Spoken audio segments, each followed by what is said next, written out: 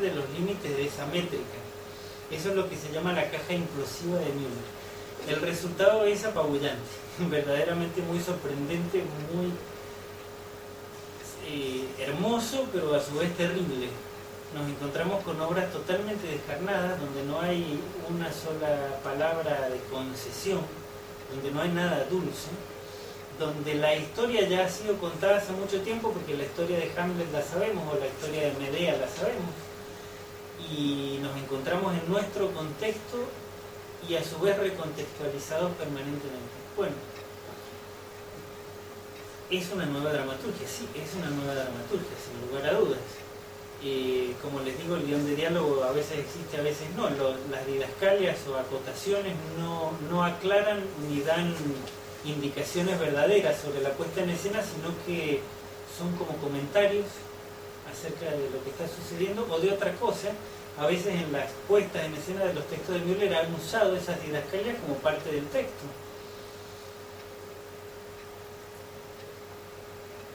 Esa sí es una nueva dramaturgia.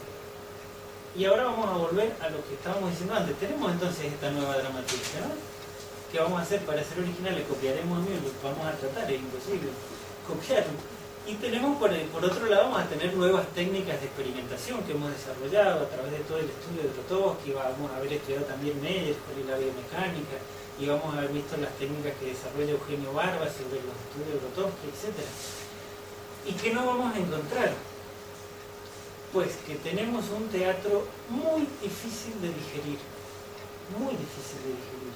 Entonces, a diferencia del cuadro de Picasso, que vamos a tener un siglo o más bueno, ojalá vivamos muchos años y lo vamos a poder ver cuando éramos chicos y lo vamos a poder ver después de viejos que ya hemos estudiado historia del arte y vamos a poder entender.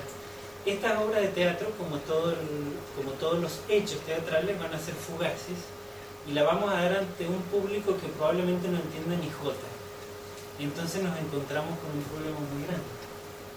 Porque teatro es una manifestación artística imperecedera justamente por su fugacidad. No podemos repetir una representación teatral nunca, por más que vayamos a ver la misma obra tres noches seguidas, nunca va a ser igual.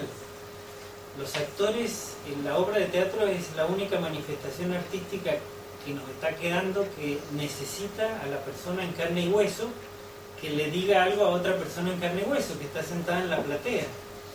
Es una, una relación en un aquí y en una hora irrepetibles. Bueno, entonces nosotros queremos hacer teatro contemporáneo, queremos hacer experimentación y vamos a presentar una obra. Bueno, nos vamos a animar a hacer una obra de Müller y encima de que es de Müller la vamos a hacer con unas técnicas muy experimentales. Y la gente se va a encontrar que no entiende ni jota, que le resulta muy difícil, que justo esa tragedia no se la recordaba, que justo esa obra de Shakespeare en realidad la tiene leída, pero hace tanto que y hay millones de elementos que le escapan. ¿Y qué quiere decir esta gente en el escenario que me está diciendo un texto de una manera colgada boca abajo, o a lo mejor pisando unos vidrios y a mí ya me está doliendo solo verlo?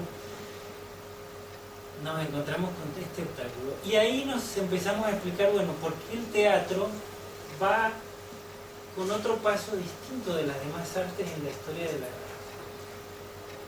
porque el teatro probablemente, todas estas son conjeturas, probablemente necesita ser comprendido de manera inmediata, porque ustedes imagínense que van a ver la obra y quieren entender, y a una persona le hiere mucho su orgullo decir, salir de una obra y decir no entendí, porque sus amigos van a decir, sos tonto, ay, vos porque no sabes nada, porque qué inculto, porque no estás en las últimas tendencias, o qué sé yo.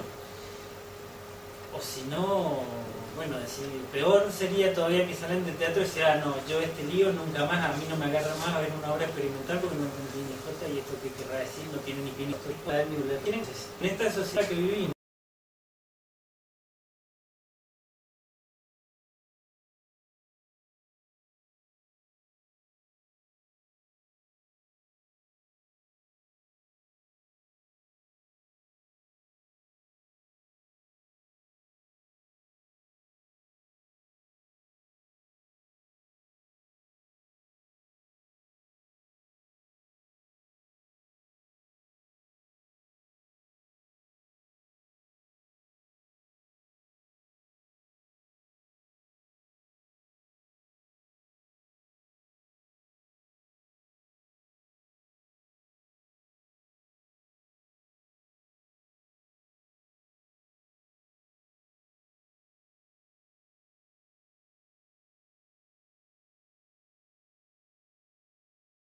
la gente dice, ay, yo quiero, no quiero pensar, no, yo quiero solamente entretenerme, si voy al teatro es para pasar un buen rato y no quiero que me planteen más problemas de los que tengo, y quiero pasarla bien, y no quiero cosas complicadas. Bueno, como todo, todo, si ustedes miran bueno, la sociedad como estamos viviendo tan materialista, todo está muy sencillo.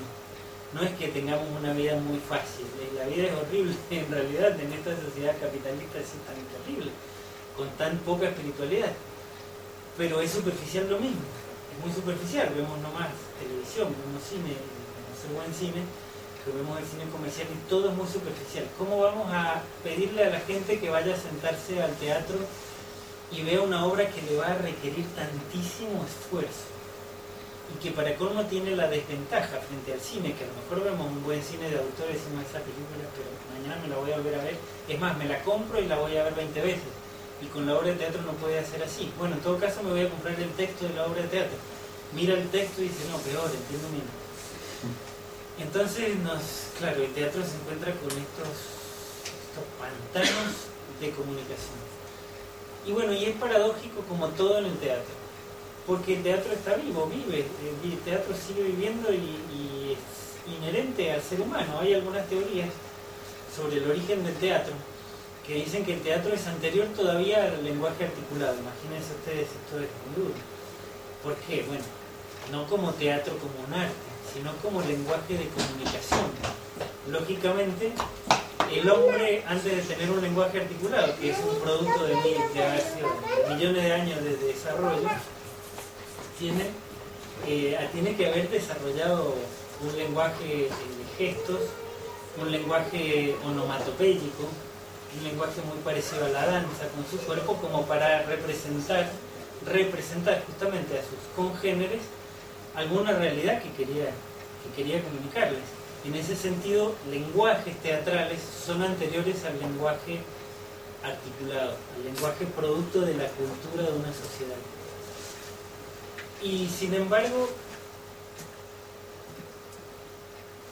nosotros seguimos viendo el teatro, seguimos viendo que el teatro existe aquí. Bueno, aquí ustedes tienen lindas representaciones que tienen obras clásicas permanentemente, etcétera, y todo tan bonito, pero claro, los que hacemos teatro nos preguntamos por qué no podemos seguir evolucionando, porque es muy bello hacer una obra de Shakespeare. Es más, yo el año pasado puse el cerco de Numancia de Cervantes, que es una obra poco representada, la hicimos con algunos de una facultad. Y qué lindo, hermoso, ¿no? Pero claro, los que investigamos en el teatro decimos, bueno, pero queremos hacer cosas nuevas, nuevas también en, la técnica actoral, nuevas en la puesta en escena. Y nos encontramos con esta cuestión de que si hacemos cosas tan experimentales, que aparte que requieren un enorme entrenamiento de parte de los actores, nos vamos a, a enfrentar con la perplejidad del público. ¿Y qué vamos a hacer con eso? Bueno, Qué lástima que yo no tengo la respuesta para dárselo, pero solamente les planteo toda esta, toda esta inquietud que tenemos los teatristas, los que hacemos teatro. Eh, yo les he traído para mostrarles, aquí la pantallita está chiquita, pero, pero van a poder ver algunas cosas de las que hacemos con una compañía que yo llevo hace ya más de 10 años. empecé a trabajar en Italia, después proseguí en Argentina, que se llaman Los Toritos, con la cual hacemos teatro experimental, tratamos de trabajar con textos experimentales y a su vez con técnicas experimentales. ¿Por qué les traigo a colación esto? Bueno, para contarles cuál ha sido la reacción del público. Por lo general, pésima.